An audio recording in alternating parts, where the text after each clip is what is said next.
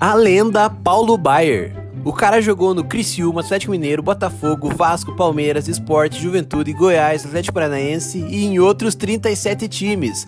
Paulo Baier fez história. No início da carreira, ele era um lateral direito, com o passar dos anos se tornou um meia, e um meia muito bom.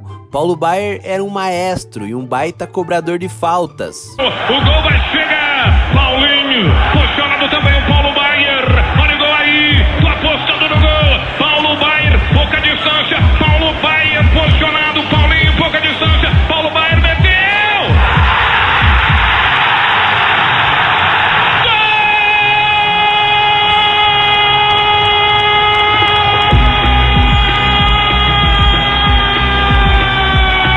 Fez história e se tornou ídolo no Goiás, Atlético Paranaense e Criciúma. Fez mais de 200 gols e é um jogador lendário do futebol brasileiro.